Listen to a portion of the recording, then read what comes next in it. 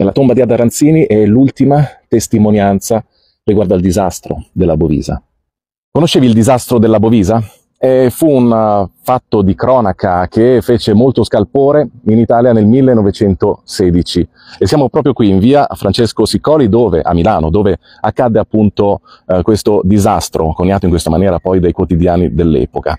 Il 10 novembre del 1916 e in questa zona, adesso praticamente uh, completamente ricostruita, dove abbiamo al fianco la ferrovia con la, la stazione della Bovisa e poi eh, di fronte a me c'è anche l'università, beh in questa era una zona fortemente industriale in quel periodo.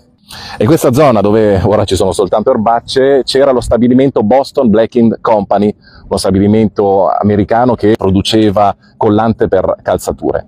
Tutti gli stabilimenti della zona erano serviti da dei binari che erano collegati proprio qui dalla ferrovia dove venivano veicolati dei treni con all'interno le merci e proprio quella mattina era entrato un vagone tedesco con carico di 15.000 litri di xilene, che è il derivato dalla benzene, e l'operazione era quello di svasare proprio eh, questo carburante all'interno di due cisterne che erano posizionate al di sotto della palazzina di un piano in cui c'era Uh, gli uffici e la portineria di questa fabbrica.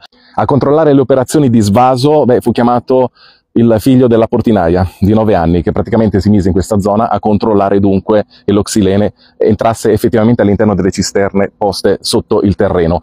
Il travaso era effettuato tramite un tubo di gomma. Dopo circa un'ora il bambino cominciò a notare delle fiamme.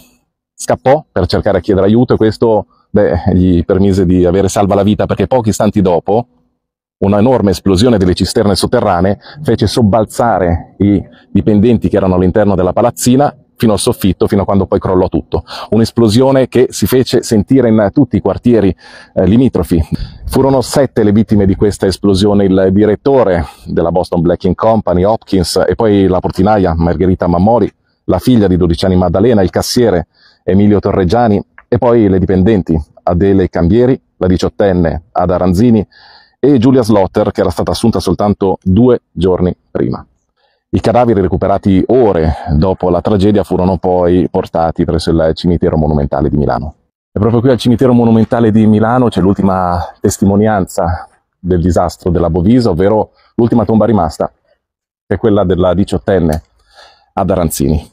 Chiaramente siamo nel 1916, in piena guerra mondiale, e tanti giovani, migliaia di giovani in tutta Europa, muoiono ogni mese poi da lì a poco l'Europa sarà anche investita dall'epidemia spagnola e quindi tanti fatti di cronaca poi eh, verranno oscurati da fatti bellici ed epidemici più importanti.